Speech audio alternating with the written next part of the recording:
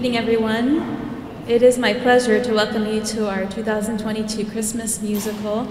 It's a great joy, since we haven't been able to have a musical for several years, to um, once again celebrate the great mystery of the incarnation of Jesus coming to dwell among us as we prepare for, for Christmas.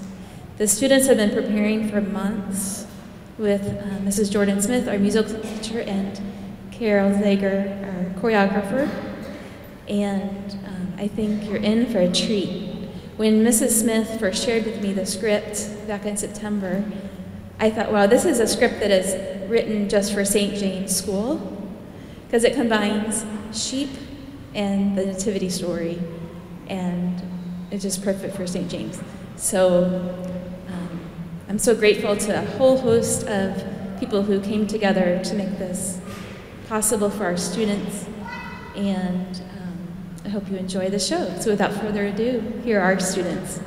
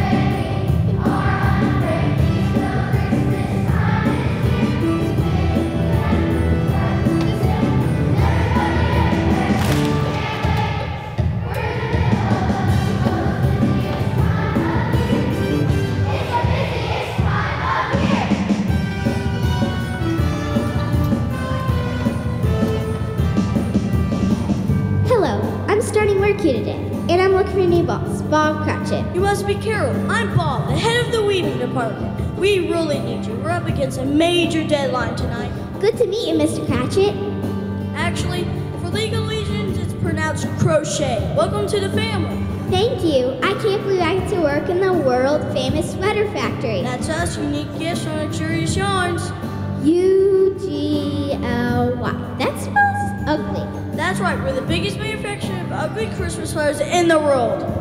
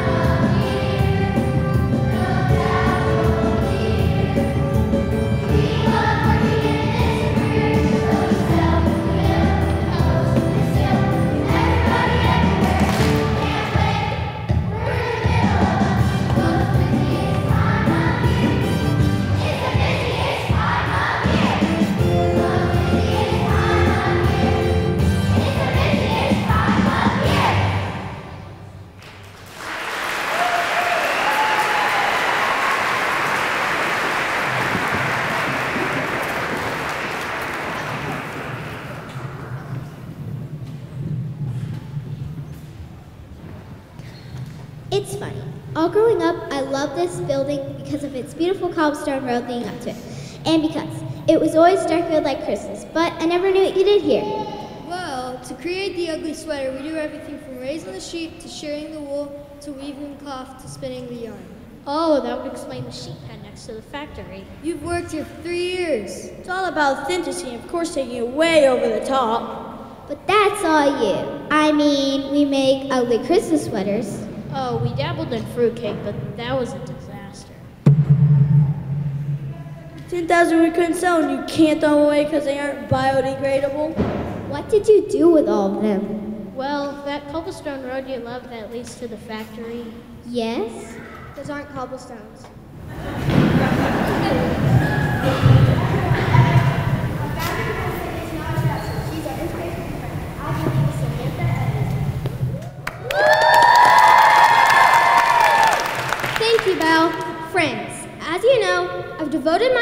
This company as my parents did and my grandparents before them.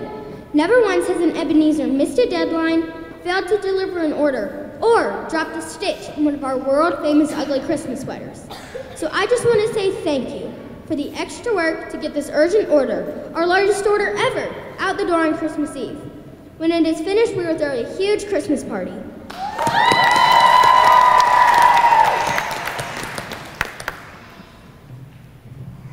What's going on, Tiny Tom? I'm sorry to interrupt, but there's a sheep caught in the weaving machine.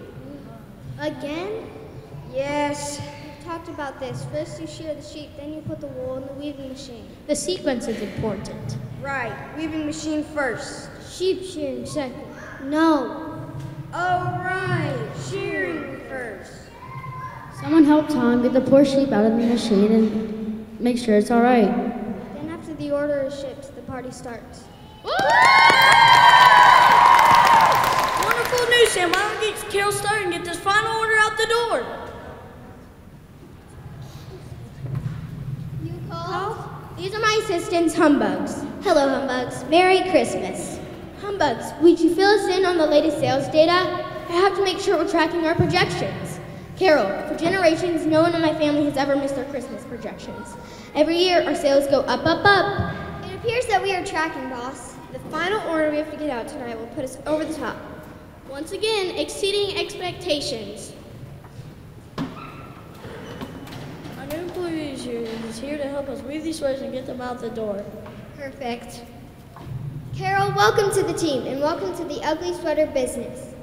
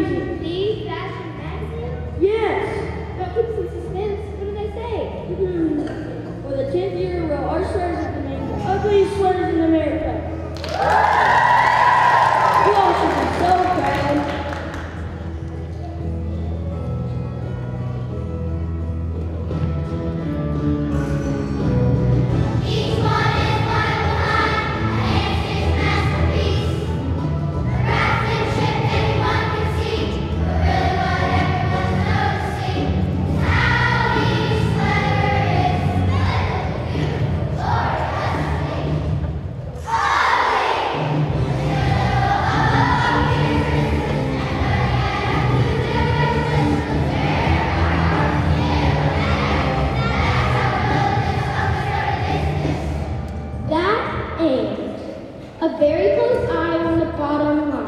That's how we build this, how we start business.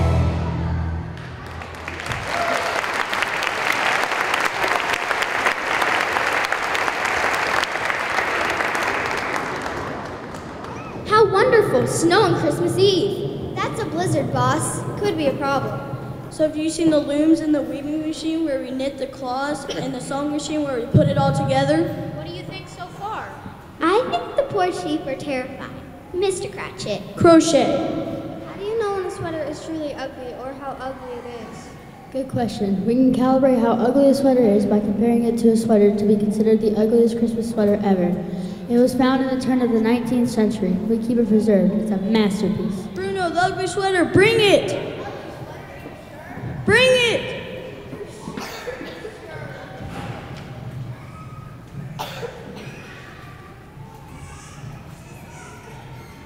You need Carol. Everyone, avert your eyes! It's. It's horrible! Thank you. Take it away, Bruno.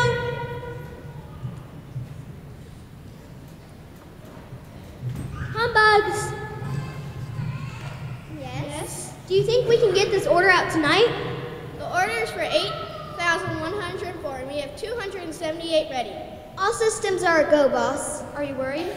Well, maybe a little. No one in my family has ever We know has ever missed a deadline, failed to deliver an order, or dropped a stitch in one of our world famous ugly Christmas sweaters. you won't either.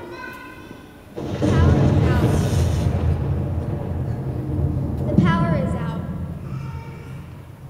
Never mind, it's back on. No, it's not. Those are just the emergency lights. They're battery powered. Very well then. We'll have to make do if we're gonna get this order out tonight. So, do you think we still have a chance of making the deadline, Sam? Well, I've got good news and bad news. What's the bad news? Christmas is coming. And the good news? Christmas is coming!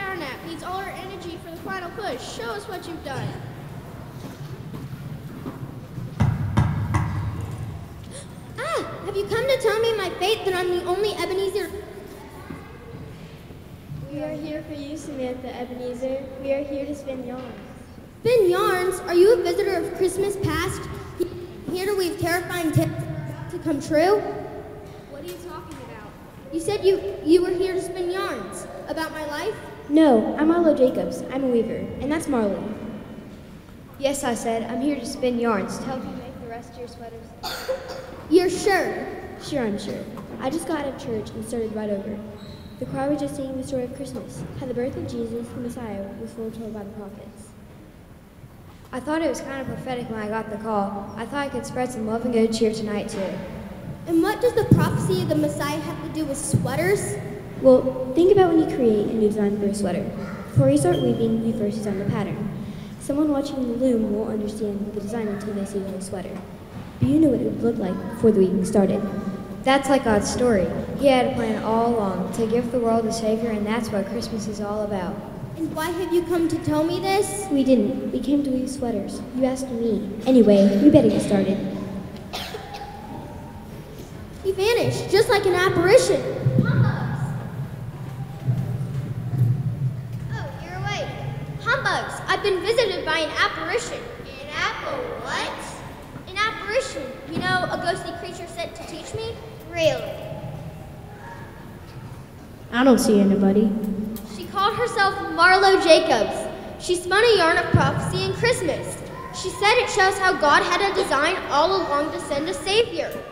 That's right, boss. More than 700 years before Jesus was born, the prophet Isaiah wrote, For to us a child is born, to us a son is given, and the government will be on his shoulders. He'll be called the Wonderful Counselor, Mighty God, Everlasting Father, Prince of Peace. Isaiah is predicting the first Christmas. And he even told us who he'd be in Isaiah 7:14. Therefore the Lord will give you a sign.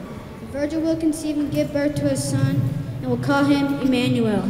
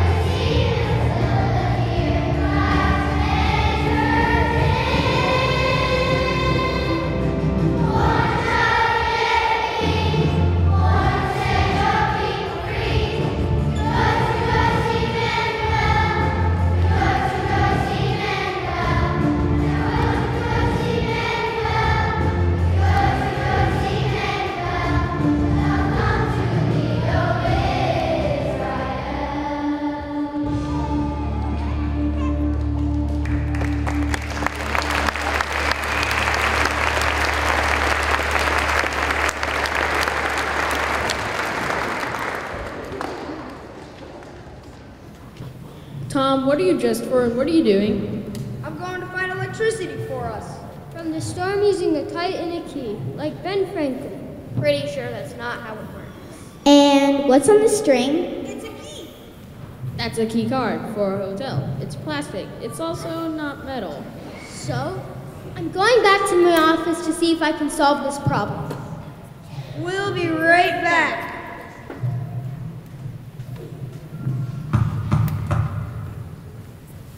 Who is it? Samantha Ebenezer? Yes. I'm here for you. I'm here to rescue you from the darkness. But you must open the door. Okay, hold on. I'm not falling for this again. The- What's your name? I'm Fuzzy Wig. I'm here with the power company, and this is right. We're here to restore your light and power to your business. What? No one would come out on a terrible night like this. Of course we come on nights like this. I'm usually only needed when things are terrible, and I do it because I get to bring people into light when they're in darkness. Even on Christmas Eve? Especially on Christmas Eve. I mean, when you think about it, Christmas is all about bringing light into the world of darkness. Another visitor on Christmas Eve. Is that the message you'll bring to me? It's great to turn on people's electricity when it goes out. I love my job, but if you think about it, the whole world is darkness because of sin. Isaiah, the people walking in darkness, darkness have seen a great light. On those living in the land of deep darkness, a light has dawned. That's right. Jesus called himself the light of the world. When he was born in Bethlehem, there were shepherds nearby, and there was so much light in the sky they were terrified. For somebody in my line of work, that's the best part of the Christmas story.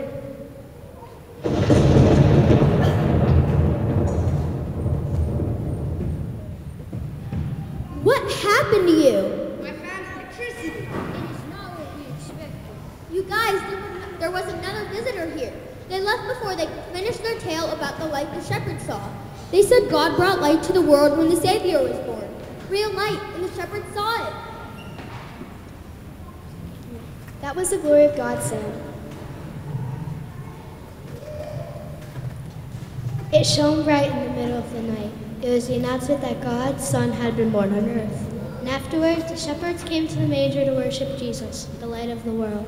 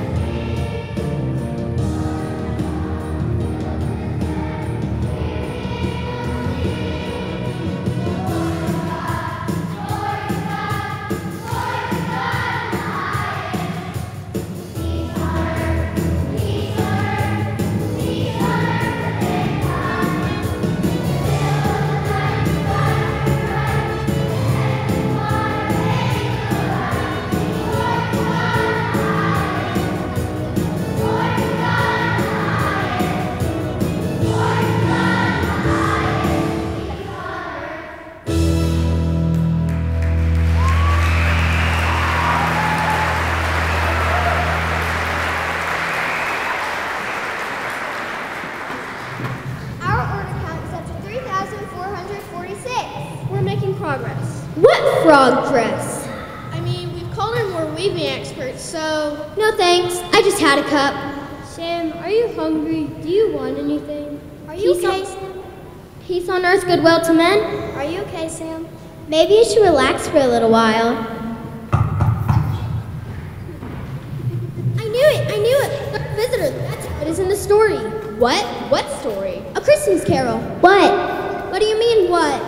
You said a Christmas carol. No, not carol. Never mind. What is the purpose of this visit? Christmas presents. No, no, there's no visitor of Christmas present.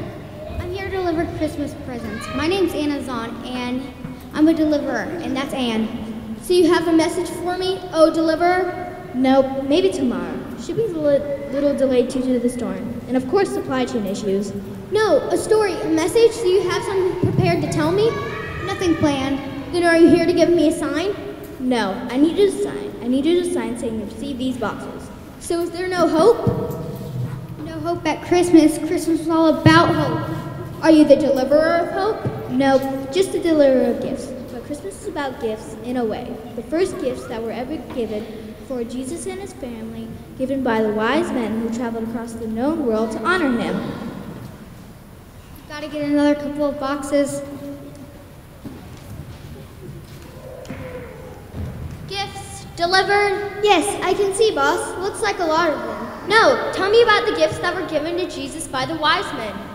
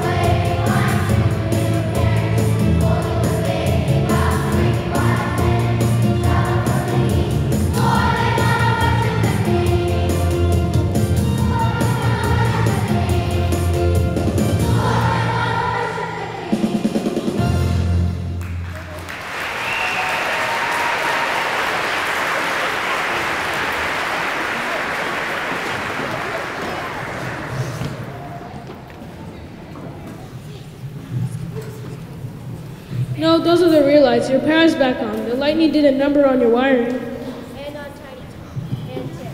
Either way, it's sorted out, but your looms and weavers are working now too. Humbugs! Right here, boss. Do you think, what's the order count? We have to be close. Maybe we can still finish.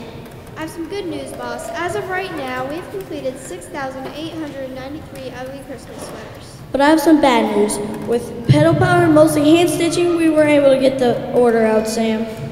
I knew it. We were so close. I'm the first Ebenezer to miss a deadline. It was out of our hands, boss. I'm here to deliver the big Christmas present order to be delivered tonight. I'm sorry to say we don't have it. We simply couldn't finish it. Well, it's not a trip waste to have a pickup of Tiny Tom. Here you go, Tim. That's the last of them. What is that, Tom? It's just a few presents I'm shipping out to my family. Manger seems like this one here.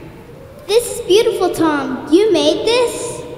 Yes, we water them while we watch the sheep. We give them as gifts to help tell the story of Christmas. Emmanuel was born the light of the world. The angels told the shepherds and they came to worship him. The wise men brought their gifts to the king. What a great idea. Thanks, that might be one of our better ideas. Tonight, each visitor brought me a piece of the story. They wove a Christmas yarn to tell me the good news of Jesus' birth. To God's people who must have waited for hundreds of years for the promised Messiah, it must have seemed like God forgot his promises. But the Bible says that at the right time, God sent his son to set us free. We may not have met our big deadline, but I'd say this gift arrived just in time.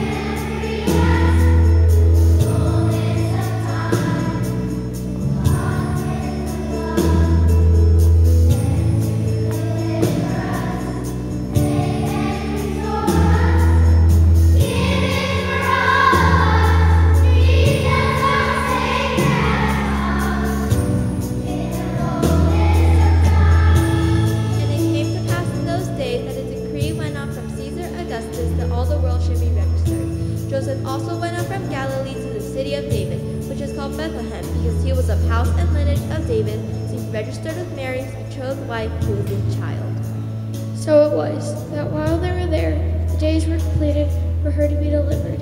And she brought forth the firstborn son, wrapped him in swaddling clothes, and laid him in a manger, because there was no room for them in the inn. Luke chapter 2, verse 1 through 7.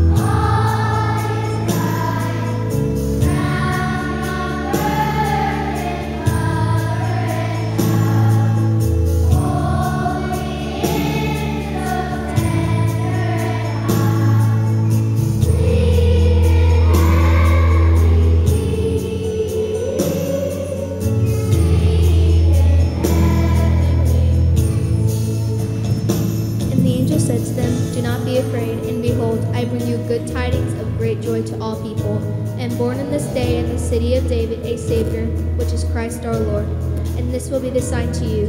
You will find a baby wrapped in swaddling cloths, lying in a manger. Luke 2 10 through 12.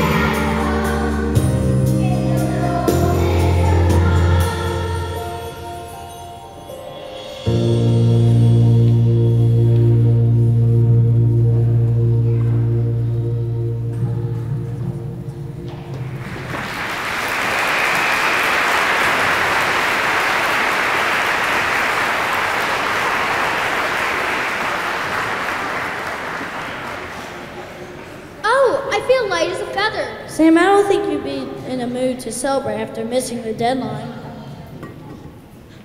Humbugs. What? No, I was just saying humbugs. Yes, I'm disappointed that we didn't get our big order out tonight, but the most important thing is what my three visitors showed me. What is that, Sam? You know I love the ugly sweater business. It puts a smile on everyone's face at Christmas time. Ugly is beautiful. But the three visitors reminded me of what really matters. Jesus, the promised Messiah, the light of the world, the deliverer. Way more important than a gag gift is God's gift to us, Emmanuel, God with us. I made a note of it, boss. So are we still going to be in the ugly sweater business? Of course we are, Carol, and we might diversify a bit too. I think Tom had a great idea of spreading the good news of great joy. Yeah, great idea. Great idea. Employees of unique gifts from luxurious yarns, let the Christmas celebrations begin. God bless us, everyone.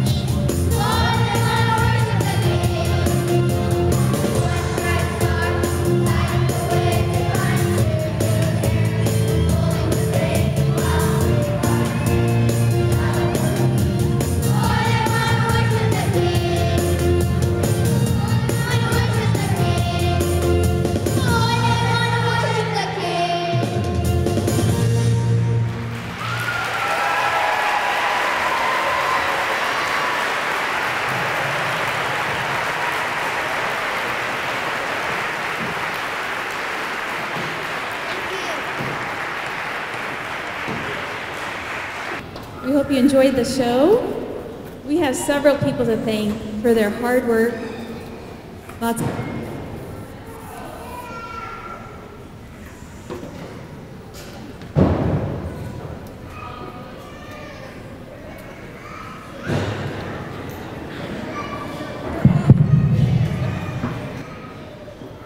We want to thank all of you as parents for all you did with costumes, helping the parent, helping the students know their lines, learn the songs.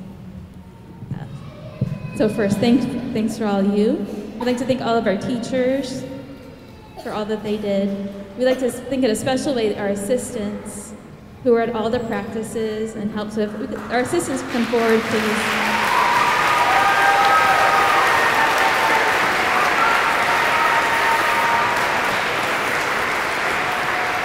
We have something special for the assistants.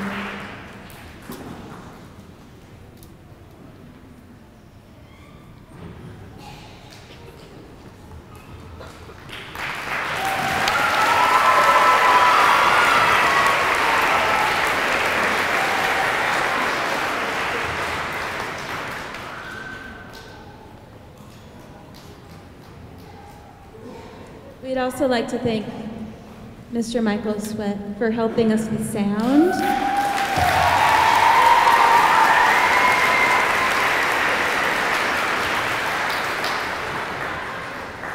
Thank you so much. He's helped us many times over the years, but a special thank you to this year. We'd like to thank Mrs. Eileen Garris, who really stepped up.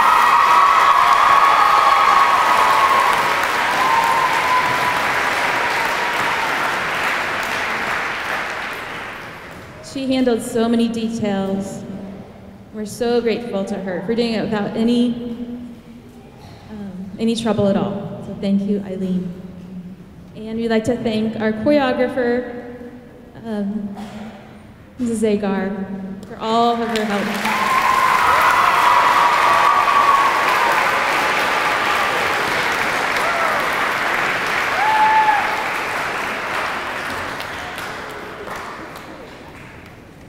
Truly, this was a team effort and a beautiful testimony of the great community we have at St. James.